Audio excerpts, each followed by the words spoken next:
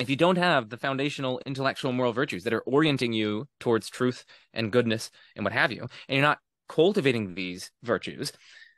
you're just going to be using the critical thinking skills and tools and methods just to either confirm your pre-existing beliefs or maybe to um, bludgeon people on the head with or uh, you're just not going to be using it for virtuous ends and you're not going to be maximizing your chances of getting to the truth decreasing your false beliefs and ultimately serving people. So that's the second thing that makes it unique is the emphasis on getting a foundation of good love-oriented truth-oriented dialogue across ideological barriers and also cultivating both intellectual and moral virtues, but specifically intellectual virtues prior to learning about the skills and, and tools of critical thinking.